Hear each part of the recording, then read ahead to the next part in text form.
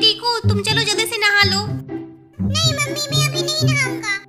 टीकू तू जल्दी से चल देख तेरे देह में कितनी खुजली मच रही है। मम्मी मुझे खुजली नहीं हो रही है। रुको मम्मी ये ऐसे नहीं जाएगा इसे तो मैं लेकर जाता हूँ। चल टिकू चल तू आज कैसे नहीं नहाएगा मैं भी देखता हूँ।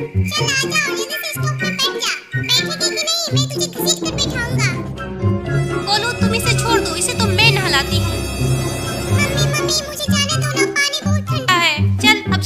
की मत कर। आ मैं तुझे नहलाती हूँ। नहाते जाओ नहाते जाओ, ठंडे ठंडे पानी से नहाते जाओ। चल टीकू, मैं तुझे तावा से लपेट देती हूँ। ओए, मेरा टीकू, तू कितना खूबसूरत लग रहा है। दोस्तों, मेरे टीकू के लिए